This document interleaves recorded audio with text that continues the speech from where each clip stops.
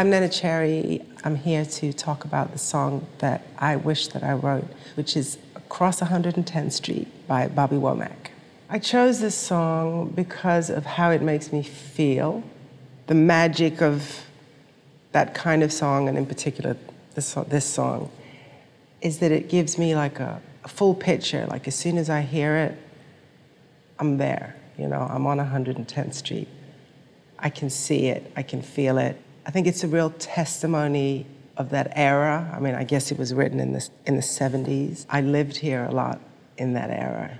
I have some really kind of deep, very visual memories, you know, of how, it, how New York felt in that time.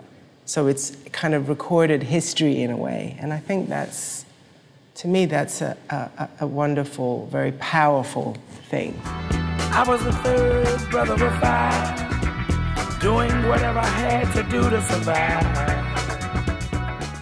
I mean, I guess I first heard of Bobby Womack kind of in my surrounding world. Like, I don't think I was conscious of who I was listening to, but I was hearing this, the sound of Bobby Womack. I mean, I, I, I was probably maybe five or six, you know, because I know my parents used to play his music. Maybe that's why the sound of that record or that song evokes something, you know, very deeply on the inside because it was like very much a tapestry of my environment.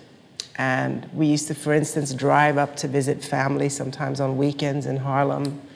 And I can really remember just the, how the streets looked, you know, and how it felt. You know, there were a lot of things in the air that I think as a, a child that I was very receptive to, but I didn't necessarily know what all of those things really were, you know, that I feel them when I hear a song like 110th Street, you know? Across 110th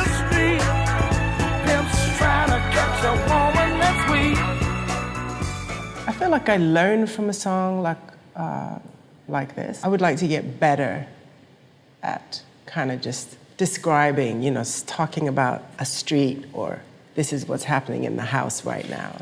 There's a person in that room doing this, and there's someone over there, like storytelling. Maybe I don't think like I wish I wrote it because I don't think I ever could, obviously, but I have a kind of relationship with it, and it has a meaning, and it's a kind of it's a kind of a weird teacher for me. That song.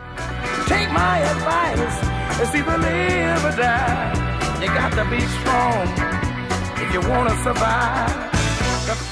You know what makes it classic is the fact that it's timeless. And so it doesn't matter when it was made, or, you know, it's like it just will always stand the legs of time. So that's it. you can. Oh, look around you, look around.